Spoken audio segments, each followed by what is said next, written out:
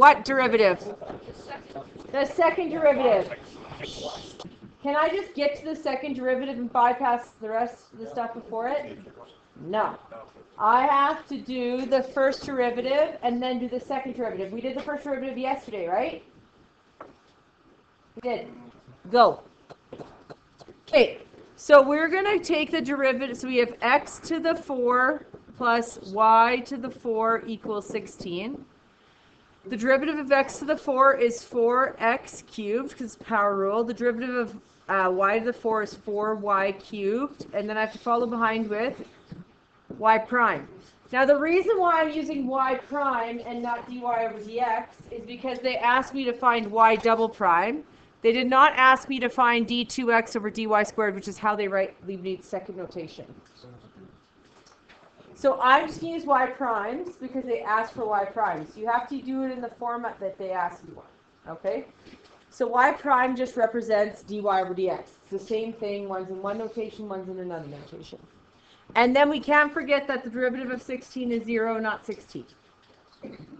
Okay? So once again, we need to get the y primes by itself. So we're going to subtract 4x cubed from both sides. And then we get y uh, 4y cubed times y prime equals negative 4x cubed. Love how you guys battle what another person said the whole time teach. It's legit. Okay. See? Stop. And then we get y prime equals. Take the fours out, and we're left with negative x cubed over y cubed. And that's what we would have done yesterday. Now,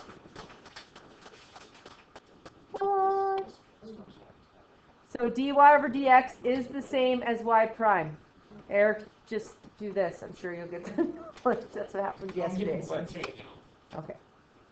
It'll, it'll, it'll make sense. This is how we do it, ebb and flow. So this is all we did yesterday. The only difference between right now and yesterday is I used a y prime instead of dy over dx because one is Leibniz notation and one is the other notation. They mean the same thing. But this one asks for y double prime. Okay, so now I have y prime equals negative x cubed over y cubed. How for art thou am I going to do the derivative of that? Quotient rule. Because it's division. True that, sister. So,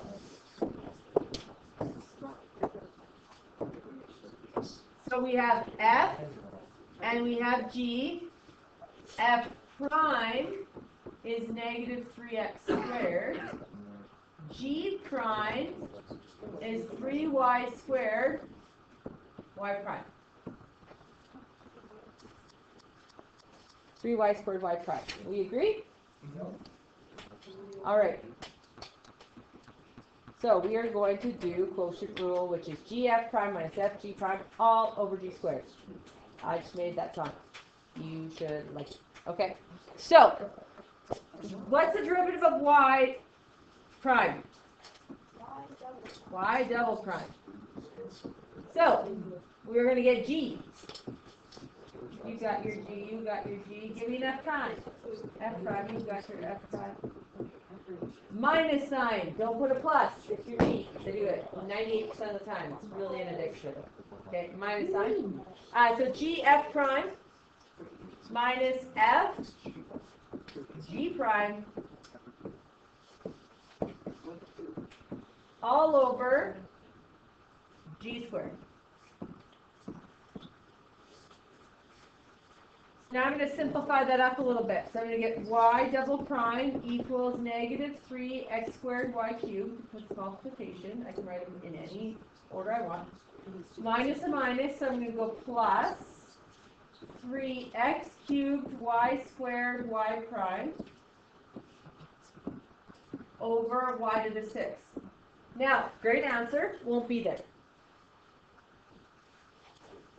Because this is the only one where when I find the second derivative, I need the first derivative to fix it.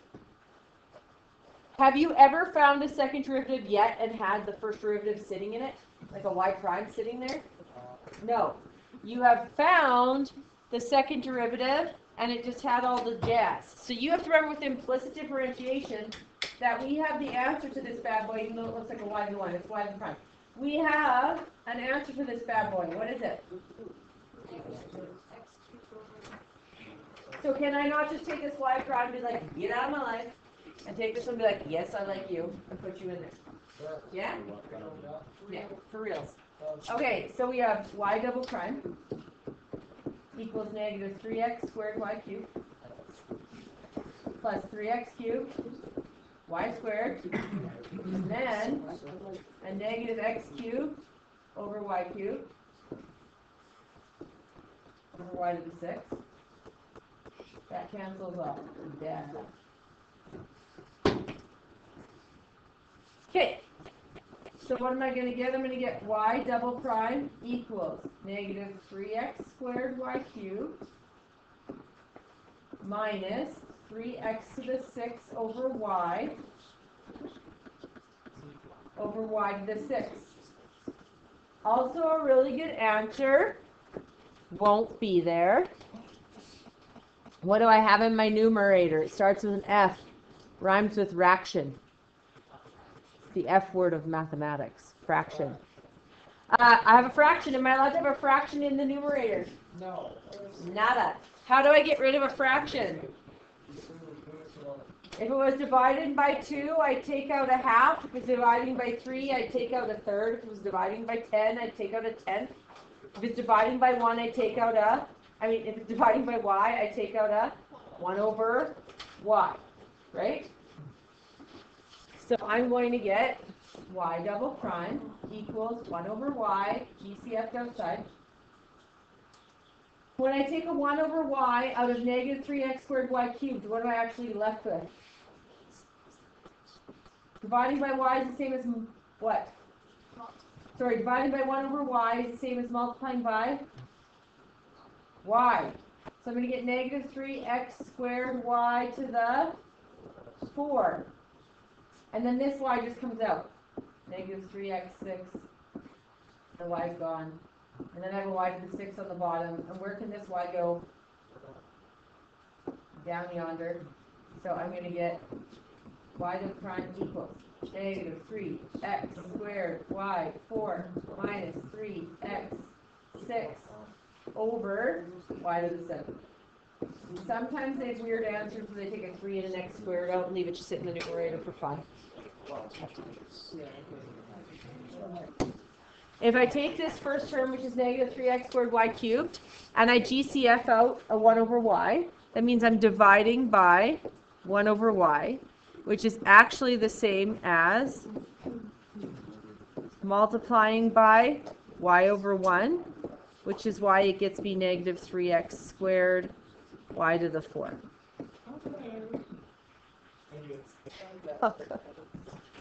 Sorry, I just left that hanging there. Here, boom, go. That's your homework, and it's due. It.